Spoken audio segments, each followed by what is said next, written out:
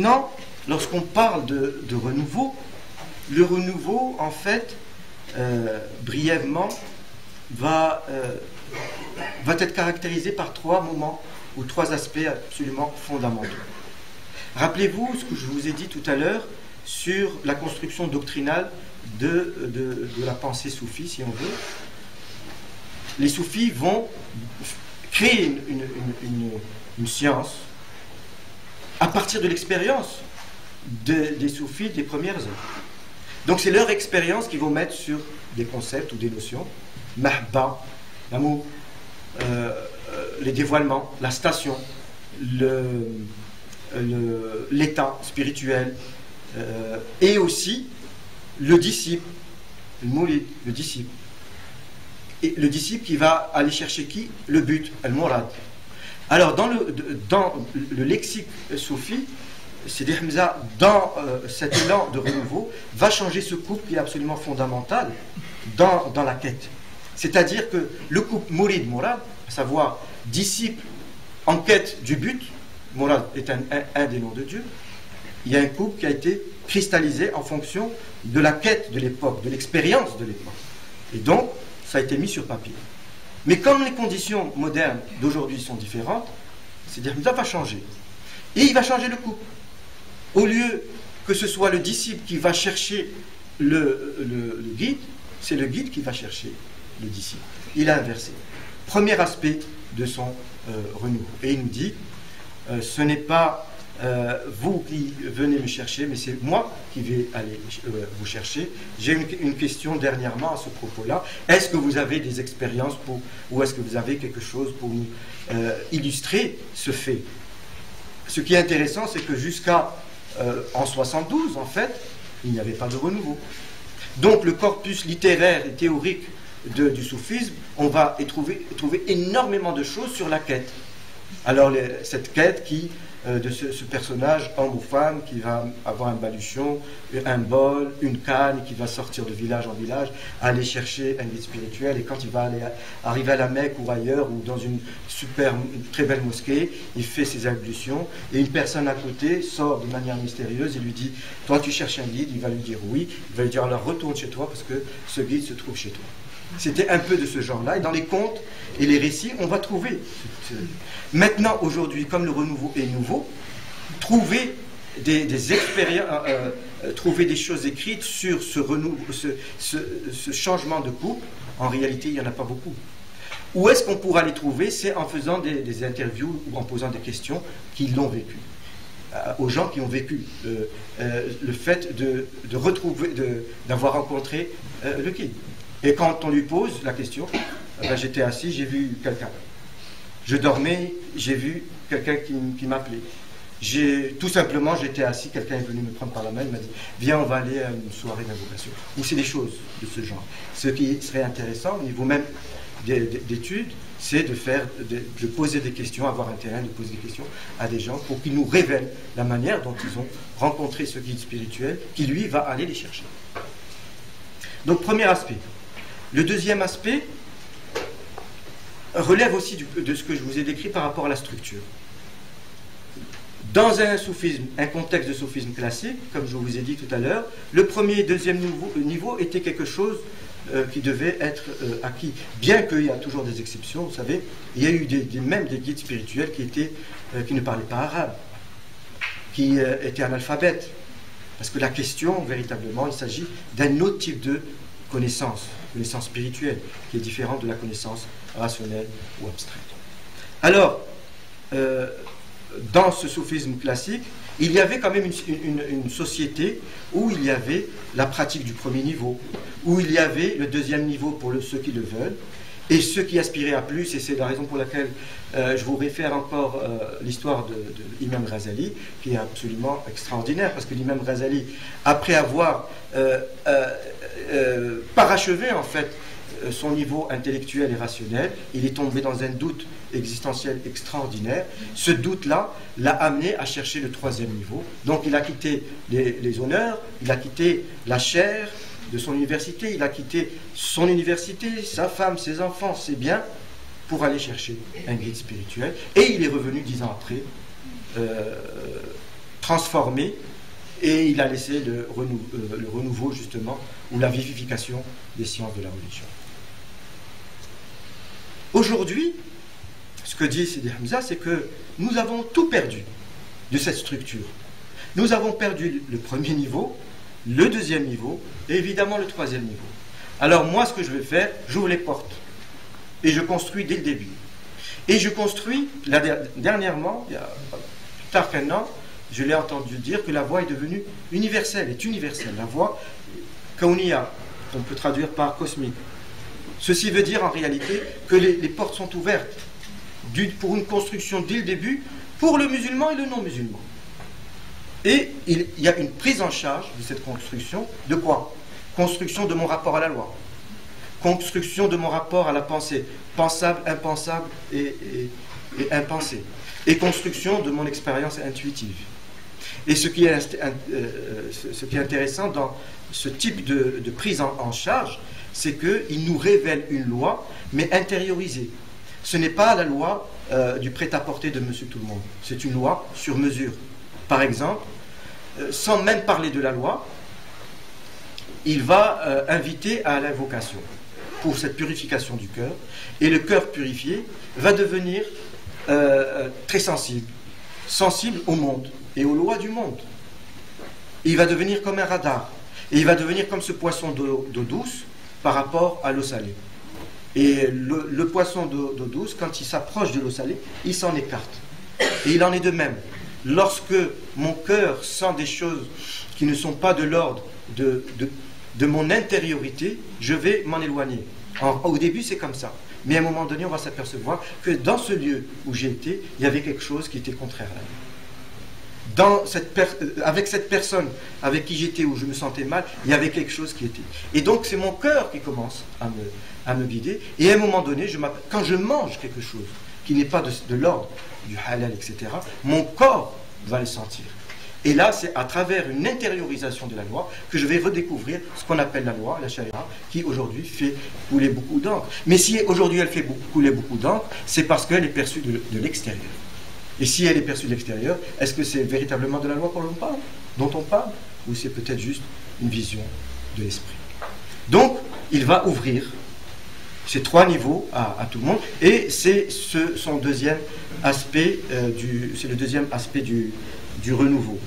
Le troisième aspect, non le moindre, le non c'est, euh, c'est un aspect absolument important, c'est celui de l'expérience spirituelle et en termes véritablement d'éducation spirituelle.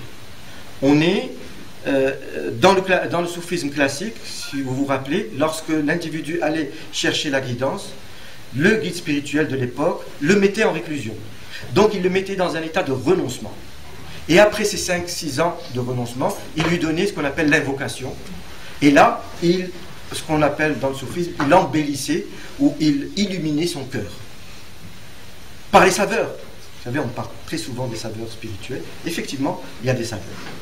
Et comme dans le monde illicite, il y a des saveurs, dans le monde de la présence divine, il y a aussi des saveurs.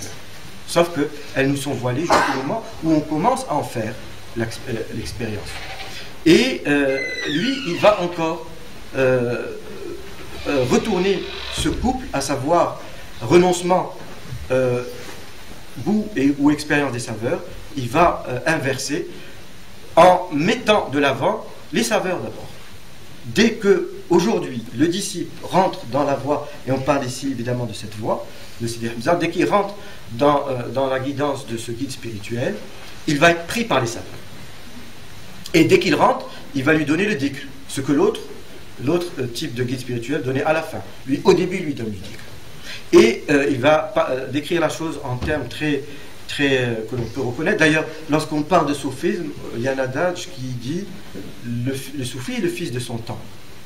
Et c'est euh, en fait un peu en écho à cet adage. Il est véritablement dans son, dans, son, dans son temps et il va même, en termes de langage, prendre des expressions qui ont rapport avec, avec notre vie de tous les jours.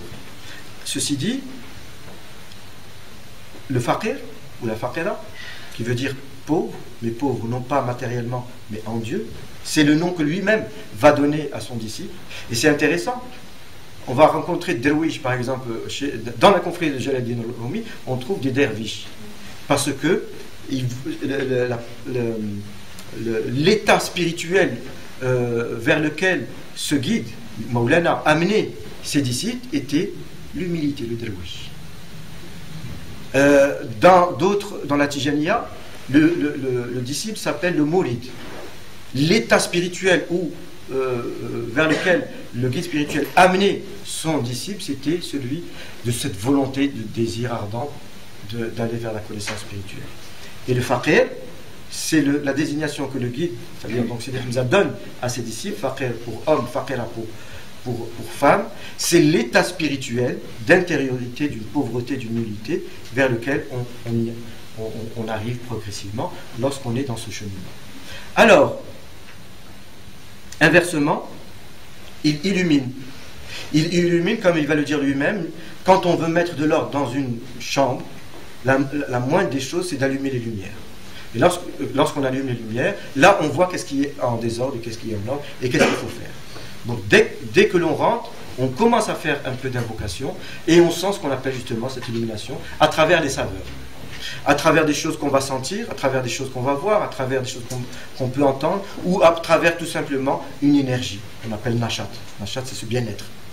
Et cette énergie, c'est cela le secret. C'est cela l'illumination. Et quand on, sort, ça peut euh, euh, être en nous pendant une journée, mais après, le surlendemain, on va la perdre. Donc on va vouloir revenir pour aller s'énergiser.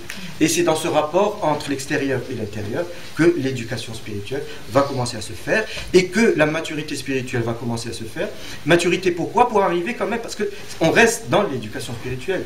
Il ne peut pas changer des choses qui sont véritablement de l'ordre de l'archétype de l'enseignement. On va arriver au renoncement. Sauf que le renoncement, la maturité du renoncement, c'est à travers l'expérience des saveurs. Alors j'ai une expérience des saveurs.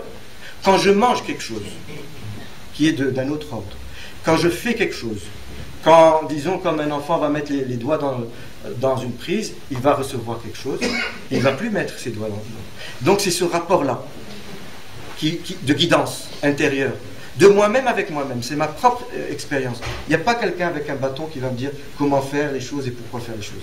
C'est ma propre expérience de la présence et de la perte de la présence qui va faire que je vais commencer à me guider. Et le but, c'est de garder cette, présence. Et comme disait le prophète, euh, endiguez, mais ne soyez pas ferme. Pour parler de la voix. Endiguez, mais ne soyez pas ferme. Qu'est-ce que l'on peut en déduire? C'est que la loi en tant que telle, c'est des digues. C'est une digue. C'est comme un barrage. C'est comme un contenant qui va venir récupérer quelque chose, un contenu. Et Sidi Hamza va dire, lorsque vous êtes ensemble et que vous invoquez, ou que vous êtes tous, tout seul et que, vous, invoquez, vous allez chercher de la présence. Cette présence est symbolisée dans le soufisme par du miel. Et cette présence, elle est contenue où? Dans votre corps, qui est le contenant. Mais si ce contenant est éventré, vous allez perdre du miel, ce miel-là. Donc, colmatez votre contenant. C'est ce travail de colmatage que l'on apprend aussi lorsqu'on est dans la pratique euh, du soufisme, c'est-à-dire quand je sens que, et c'est intéressant d'en parler pour être vigilant et alerte. Je suis en forme, je suis clair dans mes idées, je suis clair dans mon intériorité, je suis limpide, je suis heureux, j'ai un bien-être extraordinaire. Deux, trois jours après, je me sens mal. Pourquoi? Et je fais mon, ma traversée. Où est-ce que j'étais? Avec qui? Comment quoi? Et là, ah, j'étais avec dans tel lieu, tel endroit. Ah, peut-être que. Et je peux même en refaire l'expérience pour être certain. Et après deux, trois fois, lorsque je suis certain, je ne vais plus aller à cet endroit, mais je vais aller aux endroits où je vais me sentir bien et où je vais garder cette, cette présence. Ce sont, à mon avis, les trois aspects fondamentaux de ce qu'on appelle le renouveau, euh, le renouveau du soufisme. Alors, il y a euh, brièvement, euh, il y a d'autres, points à, à soulever dans, dans, dans, ce, dans ce renouveau, à savoir l'invocation lorsque euh, il va dire dans cette voie j'ai enlevé toutes les épreuves. La seule épreuve que j'ai gardée, c'est celle de l'invocation. Ce qui veut dire il y a un allègement extraordinaire par rapport au soufisme classique, mais si, si le dit que l'invocation est une épreuve, ça veut dire que c'est très lourd. pour notre mode de vie aujourd'hui. Effectivement. Vous savez, une demi-heure le matin ou une heure le matin, et la même chose le soir, tout seul, aller à des réunions une, deux, trois fois par semaine, avec notre mode de vie qui est extraordinairement chargé, c'est effectivement une épreuve et c'est très difficile. Mais si on arrive à passer à travers, on récupère quelque chose d'absolument extraordinaire. Premier outil. Le deuxième outil qu'il a laissé, c'est ce qu'on appelle le sama. Le sama, c'est l'audition spirituelle. Et c'est un, outil euh, spirituel. L'audition à quoi? Dans le texte coranique, on va dire, tout dans l'univers chante les, louanges de la présence divine. Tout dans l'univers. Un oiseau qui chante, ce n'est pas des chants, mais c'est véritablement une invocation. Une pluie qui tombe, ce, ne sont pas, n'est pas des clapotis, mais c'est des invocations. Un tonnerre qui tonne, ce sont aussi des invocations. Et à titre d'exemple, il y avait l'imam Ali qui était assis avec ses disciples et, un jour, et il y a une cloche qui a commencé à sonner. Et euh, quand la cloche a fini de sonner, il s'est retourné vers un de ses disciples et lui a dit Est-ce que tu sais ce que vient de nous raconter la cloche? Et le disciple lui dit Mais non, j'ai entendu, je descends. Et là, euh, l'imam Ali va, j'ai oublié le nom, mais il va lui révéler le nom divin que la cloche invoquait. Donc tout dans l'univers. Euh, euh, et ça rappelle des histoires extraordinaires. Euh, ce, qui est, ce qui est magnifique, c'est que ce que vivaient les gens dans le temps, par exemple, à titre d'exemple, le Razali, qui un jour passait par un souk et il a entendu une meule tourner. Nous, de la meule, on n'entend que le ronronnement ou le bruit. Et à l'époque, et cela est aussi pris de la, de la culture arabe de l'époque, c'est que, et il en a été le cas aussi avec le prophète, quand le prophète a reçu un, poète et qu'il lui a euh, euh, lu un poète, Benet Serad, Serad est apparu, ici évidemment, Serad n'est pas une femme, mais la présence divine, et là il s'agit évidemment du langage dans le soufisme, on pourra en parler tout à l'heure. Lorsque ce poète a fini, Kab a fini son poème, le prophète a pris sa, euh, cape et lui a mis sur, les, épaules. Et c'était justement pour honorer quelqu'un qui excellait dans ce qu'il faisait. Et donc, Imam Razali passait devant une meule, il était dans la, présence divine, il n'entendait que par Dieu, il ne voyait que par Dieu, il ne marchait que par Dieu. Il a entendu cette meule, de la meule, il a entendu, au lieu d'entendre un bruit, il a entendu une invocation. Et il a pris son, euh, sa cape et il l'a jeté sur la meule. Évidemment, de la cape, il n'en a resté que des, que des lambeaux, mais c'est par honneur, euh, justement, et ça me fait rappeler euh, quelqu'un que j'ai connu personnellement et qui était à Casablanca. Et il m'a raconté ça parce qu'il était déjà disciple du père de Sidi Hamza. Et Sidi Hamza qui s'appelle Abbas. Et euh, il passait dans un souk. Et vous savez, dans les souks, il y a des radios allumées, etc. Et à un moment donné, il entend un chant. Il dit Abbas, c'est un chant profane, c'est un chant populaire. ton, ton vers, au Abbas, est enchanteur de par euh, le, verre, le verre de vin ici, évidemment. Mais lui, il, était dans cette présence divine. Son guide s'appelait Abbas, comme d'ailleurs Rumi, son guide s'appelait Shams, et là il y avait tout un rapport entre l'étoile, l'astre et le, disciple. Donc, il a réalisé la même chose quand il a entendu ce vers qui disait Oh Abbas, ton vers est enchanteur, donc ton vers d'ivresse spirituelle. Il est rentré en extase en, plein sourd.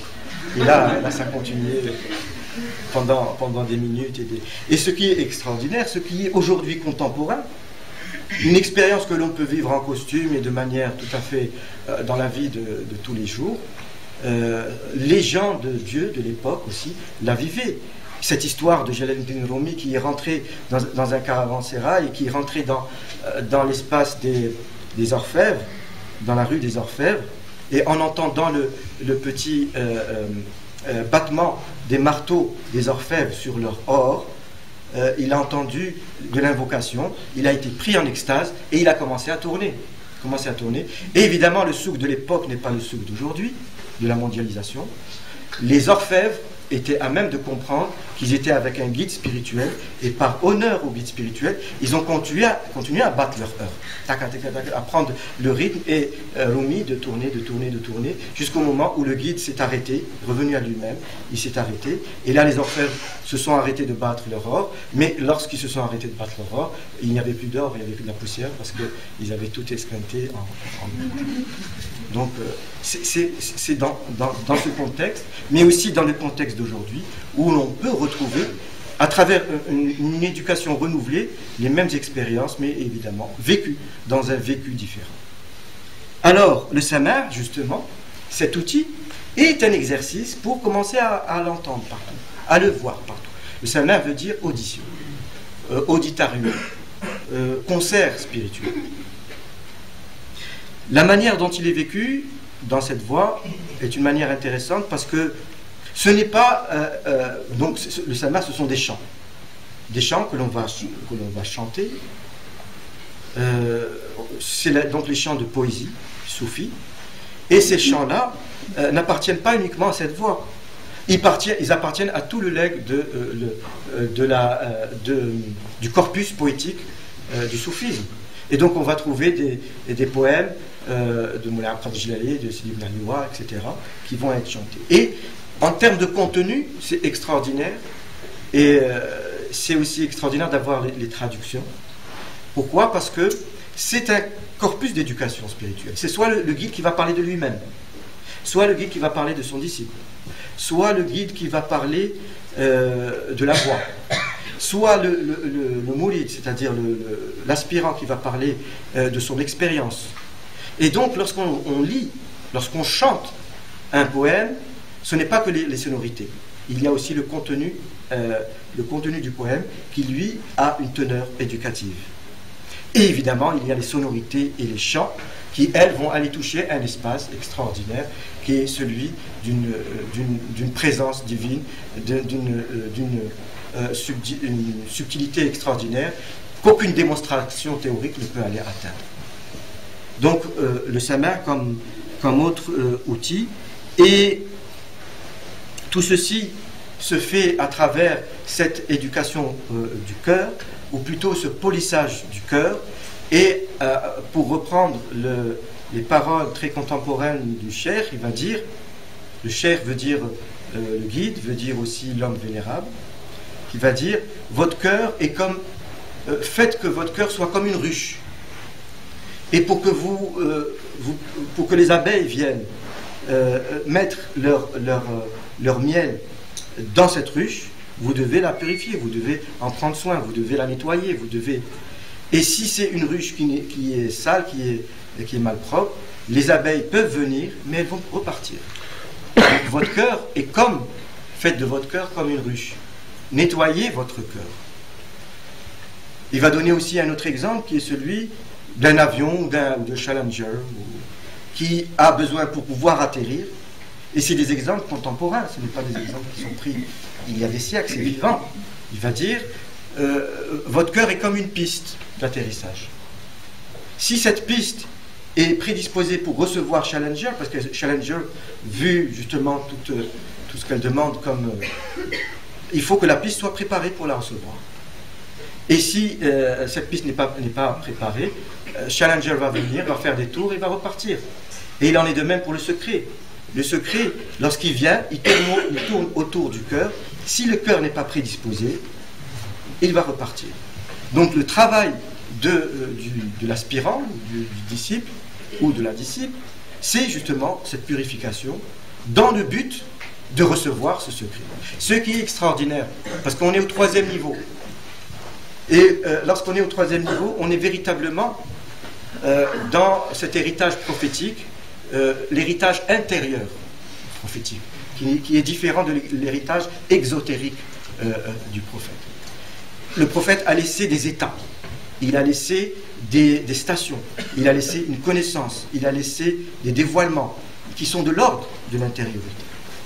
Et comme par exemple, pour le mois de Ramadan, la, la, soirée ou la, euh, la soirée de du destin, merci. La soirée du destin n'est pas connue, parce qu'elle n'est pas légiférée. parce qu'elle dépend de sa bonne volonté, de sa volonté à lui. Donc on va dire c'est les derniers jours, les, dix derniers jours. Mais ça peut être le premier jour, ça peut être au milieu, ou ça peut être à la fin. Et il, il en est de même avec la prédisposition de l'aspirant. La visite du secret, on ne sait pas quand est-ce qu'il va, le secret va venir.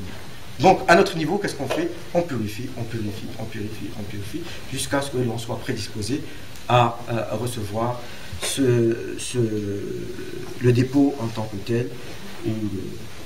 Alors, il va dire, ce sont ces mots, celui qui veut avoir de l'eau dans son puits, il faut qu'il creuse.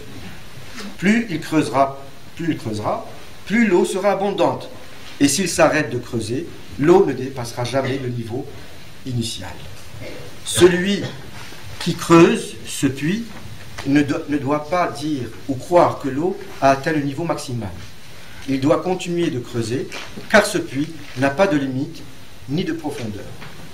Certains vont pouvoir vont poser la question suivante est-ce qu'il y a au sol des arrivées ou une arrivée dans la voie? On ne peut pas parler d'arrivée parce que le but est infini. Donc c'est un parcours infini, décrit comme je viens de le faire tout à l'heure, très schématiquement avec ces trois balises, mais néanmoins c'est un parcours euh, infini. Alors, au seuil de la connaissance spirituelle, il y a évidemment l'humilité. Nul n'entre ici s'il n'est géomètre, disaient certains.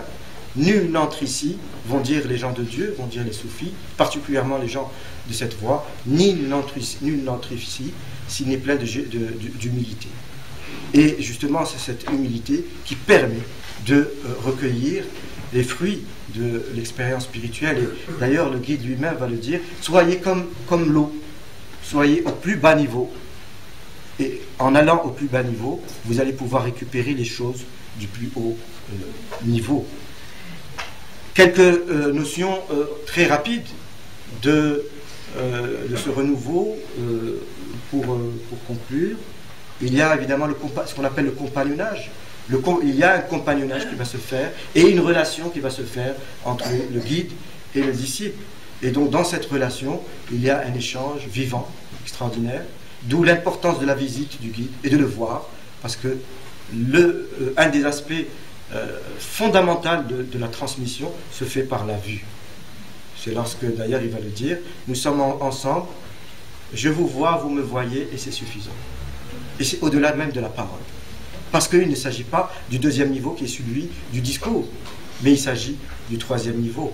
Peut-être une histoire, à ce niveau-là, il y avait son père, c'est le Hajj Abbas, qui était euh, entouré de théologiens, et ces théologiens, de la voix, parlaient d'un aspect de l'expérience spirituelle, ou plutôt, pardon, d'un aspect juridique. Est-ce qu'on doit faire ceci avant de faire cela? Est-ce qu'on doit faire cela? Et c'était une grosse discussion. Et après deux heures, à un moment donné, ils se sont aperçus qu'ils étaient euh, aux côtés d'un guide spirituel. Et là, ils se sont tus, ils se sont tournés vers lui. Ils lui ont dit dit, est-ce que tu peux nous dire ton avis Il leur a dit c'est Hajj qui est le père de Tiramiza. Moi, je c'est pas ma spécialité, c'est vous les, théologiens. Moi, je n'ai rien à dire. Il dit tu es un guide spirituel. Tu dois nous dire. Non, je ne peux rien vous dire ce dont vous parlez relève de la théologie. Ce n'est pas ma spécialité. Par contre, ma spécialité, c'est de diffuser un, secret qui va aller de cœur à cœur et qui va aller polir les cœurs et qui va aller vous faire traverser les différents degrés de l'expérience et de la connaissance spirituelle. Donc, le compagnonnage, c'est cela. La rencontre du, guide spirituel est absolument euh, fondamentale. Il y a donc aussi ce qu'on appelle dans la voie d'aujourd'hui la progression. Rappelez-vous ce que je vous ai dit à propos du ravissement. Et il y a deux types d'expressions dans le soufisme qui correspondent en réalité à deux rythmes de prise de conscience. Il y a un rythme de prise de conscience d'une rapidité fulgurante, c'est-à-dire je rentre dans la présence d'une manière absolument fulgurante, mais quand je suis là, comment faire pour revenir? Donc ce sont les risques du ravissement. Avec la guidance, la prise de conscience est beaucoup plus lente. Et c'est lui-même qui l'a ralenti. Pour notre bonne santé. En réalité, il se voile à nous-mêmes. Il se voit lui-même à nous-mêmes. Pourquoi? Parce que rentrer dans cet espace, nous ne sommes pas prêts. Et la progression, le fait de faire ce cheminement de manière progressive, c'est comme il nous accoutume à la présence divine en transformant notre cœur, mais en transformant même notre corps pour pouvoir recevoir ces lumières. Rappelons-nous l'épisode de, Moïse qui un jour a dit, euh, quand il était en face de Dieu, il lui a demandé de le voir, il lui a dit tu ne me verras point, mais regarde cette montagne. Et quand il s'est révélé, quand Dieu s'est révélé à la montagne, elle a complètement explosé. Et lui, il est tombé dans un, dans un ravissement, il est tombé dans un évanouissement, parce qu'il n'était pas à même de, de voir cette lumière de manière directe. Et il lui a fait voir par la médiation de la montagne. La médiation d'aujourd'hui, c'est le guide pour nous.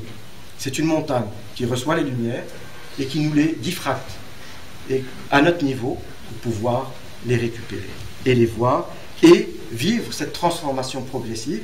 Et au bout d'un certain nombre d'années, on s'aperçoit que nous sortons de cette conscience discriminatoire qui aussi est définie par certains, ce que certains appellent les identités qui peuvent être euh, donc même meurtrières, à savoir je suis un noir, je suis un blanc, je suis riche, je suis pauvre, je suis un homme, je suis une femme, je suis etc. Là, qui fait que je vais définir le monde, mais même mon identité. À un moment donné, ces, identités vont tomber comme des écailles. Et à un moment donné, ce qu'il va rester, c'est l'identité du souffle spirituel qui a été mis en moi, il y fut un moment, dans la prééternité. Euh, et, je vais retrouver une identité. Je veux euh, euh, comprendre que j'ai changé, que je suis devenu autre. Et c'est la raison pour laquelle lorsqu'un aspirant, un aspirant aspire toujours, un aspirant est toujours plein d'eux. Et il veut faire beaucoup de choses. Et lorsqu'il rencontre le guide, le guide lui dit, attends, attends, attends un peu, purifie-toi. Ne demande pas la connaissance, purifie-toi d'abord. Ne, va pas trop dans des, euh, dans des projets, etc.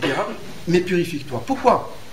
Parce que, d'abord, on ne peut pas aspirer à cette, connaissance sans purification d'une part, et d'autre part, euh, à un moment donné, ce qui est en nous va se dévoiler. Et si dans, mon génotype spirituel, j'ai de la connaissance, ou j'ai euh, euh, du, travail manuel, ou j'ai du travail spirituel, ou j'ai telle ou telle activité, ça va paraître.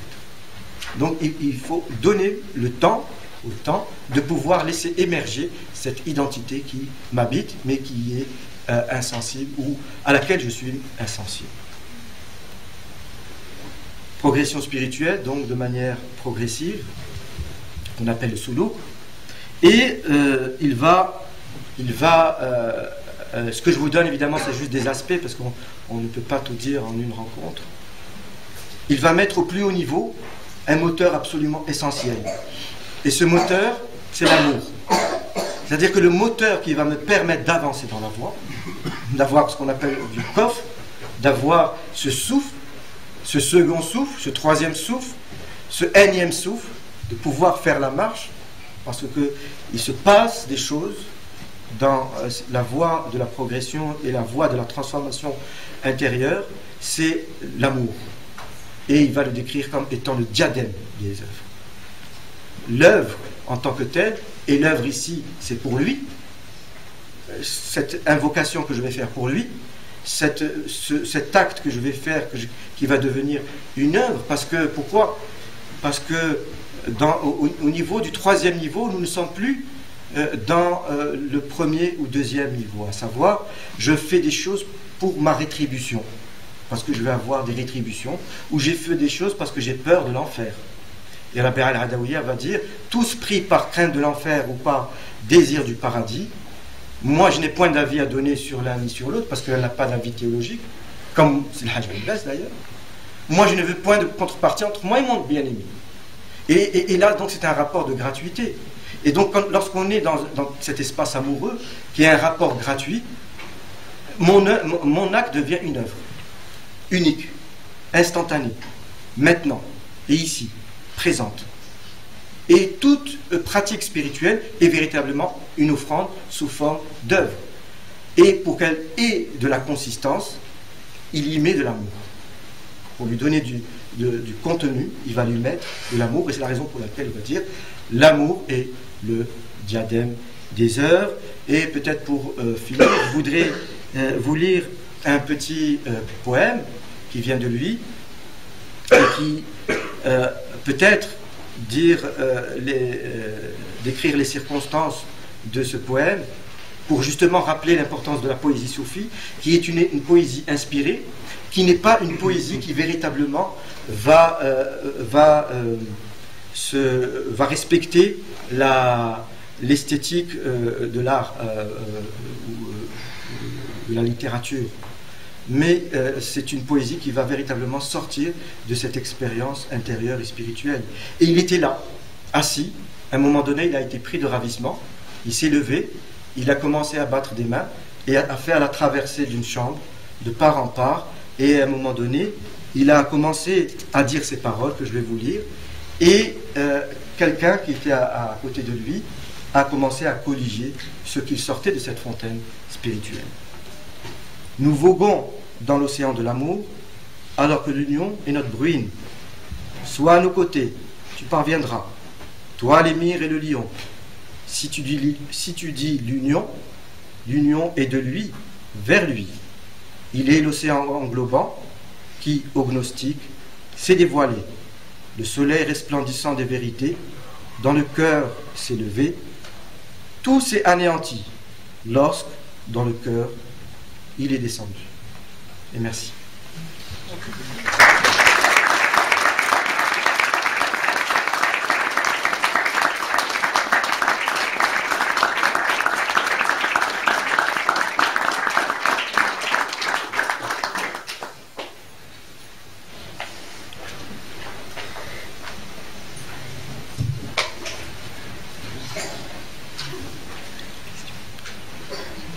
Alors je vous donne la parole vous avez des questions, si...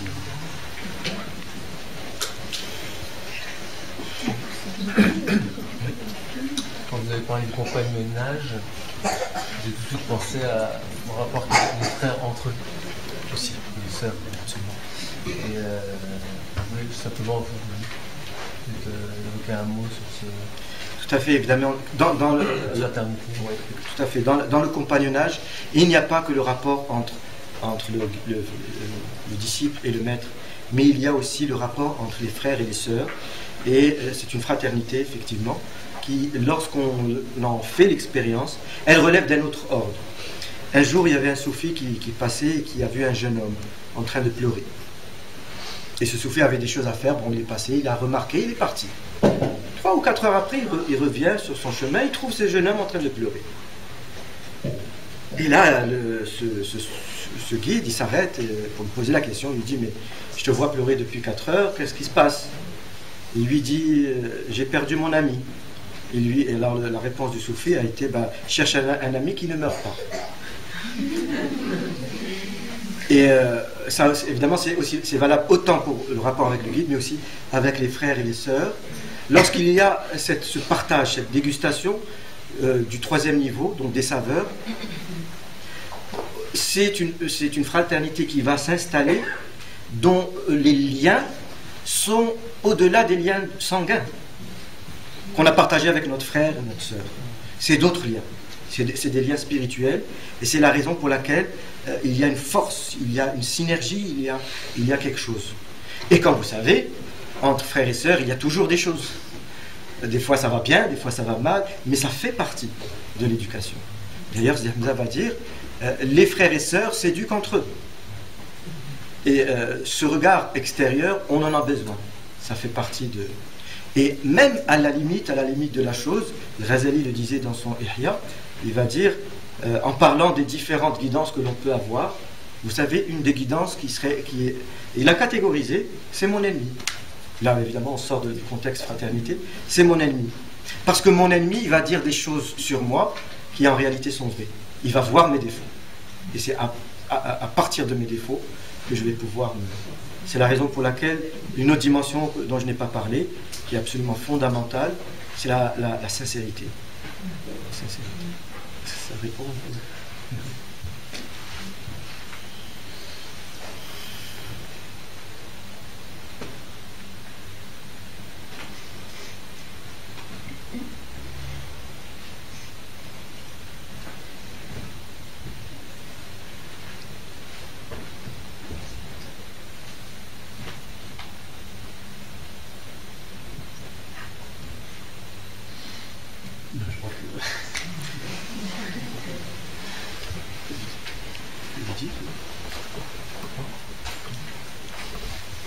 Oui.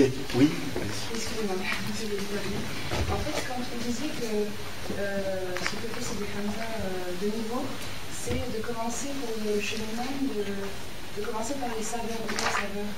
En fait, ça m'a interpellé parce qu'on a un cheminement, est-ce qu'il n'y a pas un risque pour quelqu'un qui débute de ne pas vouloir cheminer uniquement, ou en partie, pour retrouver ces saveurs-là, et du coup, finalement, le, l'intention qui est de cheminer pour Dieu uniquement, il soit un petit peu mais je vois. Je comprends, oui, je comprends. Mais, mais c'est, écoutez, euh, vous avez certainement tous fait cette expérience du voyage. Mais je parle d'un voyage, on va dire touristique. Lorsqu'on est dans les terres, terres, terres, et qu'on va vers, l'océan. On est à 400 km par exemple, et plus on, s'approche de l'océan, et plus on sent les bouffées de, cet océan. Jusqu'à un moment donné, on est pratiquement dans la ville côtière où on sent le iode, où on sent les... Et euh, si le désir est, grand, on va aller marcher au bord de la mer. Et si le désir est grand, on, se met en maillot de bain et on plonge. Il en est de même.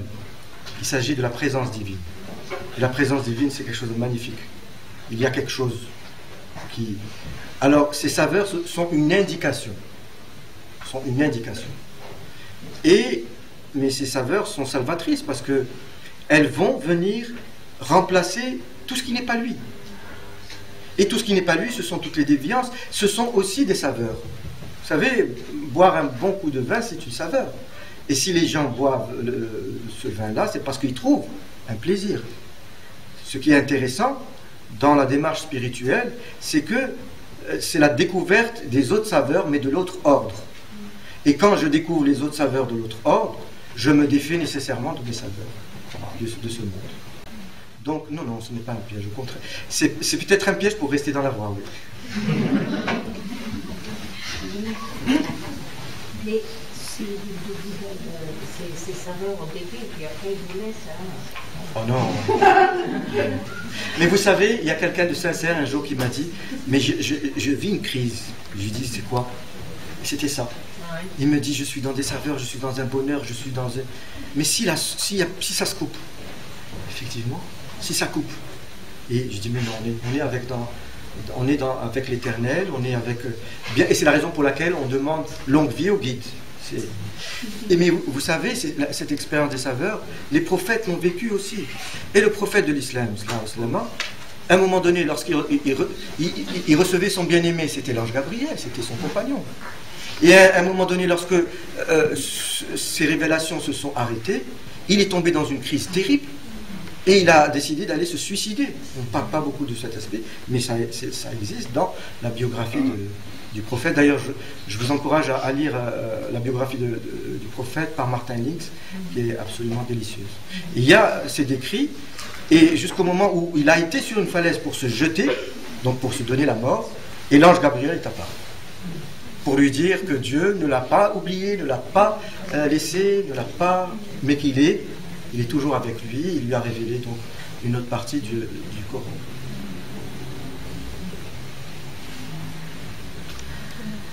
J'ai pas très bien compris cette histoire du guide qui nous choisit, alors que c'est pas nous qui le choisissons. Dans la pratique, ça se passe comment Dans la pratique, ça se passe dans un décalage de conscience. Il y a un vers, un vers de poésie soufie qui va dire Au début, je pensais que c'était moi qui t'aimais, et à un moment donné, j'ai réalisé que c'est toujours toi qui m'as toujours aimé. Alors quand on est dans cette conscience discriminatoire, oui, c'est moi qui me suis inscrit, c'est moi qui, suis venu, je suis venu, c'est moi qui suis venu de Montréal, c'est vous qui, euh, vous avez vu une affiche ou quoi, vous êtes venu. Et on est, parce qu'on est dans la conscience de la séparation et on pense que c'est nous qui faisons euh, la chose.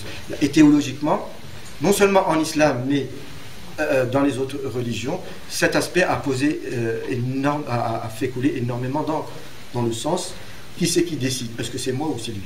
Est-ce que ma vie est complètement écrite, oui ou non? Pardon? Dans le contexte de l'éducation spirituelle, on s'aperçoit en réalité que la réponse est dans un rapport de conscience aux choses. Quand ma conscience est à froid, c'est moi qui fais les choses. Mais quand ma conscience se transforme, je m'aperçois que c'est lui qui fait les choses. Donc théoriquement, il n'y a pas de réponse. La réponse est dans le vécu, dans une expérience.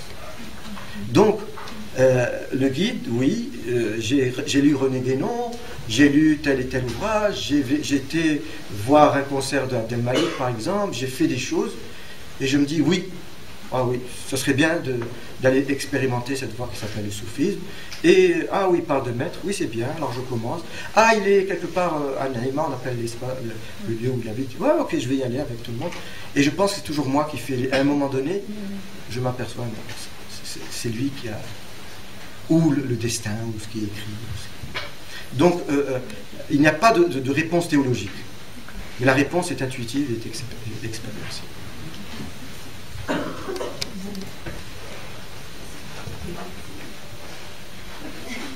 Elle voulait poser une question. Allez-y, madame. En fait, je ne sais pas si c'est vraiment très pertinent comme question, mais euh, vous avez parlé un moment euh, sur le cheminement qui était infini et qu'en fait, vous n'arrivez jamais à avancer, vous n'arrivez jamais à être tout Et je me demandais si euh, le chien, maître, vu qu'il arrivait jusqu'à la proximité de lui, est-ce qu'il continue à cheminer quand même au-delà Lui aussi. Il continue à cheminer. Et il va dire même quelque chose de très, très, très important. Même l'wilaya, l'amitié de Dieu, il faut en prendre soin. Comme cette ruche des abeilles. Il faut en, en prendre soin. Et si j'en prends pas soin, elle risque de, partir. Et euh, euh, on le voit à 89 ans, il a 89 ans. On le voit encore faire euh, ses invocations le matin, le soir, etc. Faire ce qu'il y a à faire. Et faire une pratique très rigou- rigoureuse et, et soutenue. Parce qu'on n'échappe pas justement à cette dimension d'aller recueillir. Alors voilà, merci pour votre écoute, pour la qualité de votre écoute.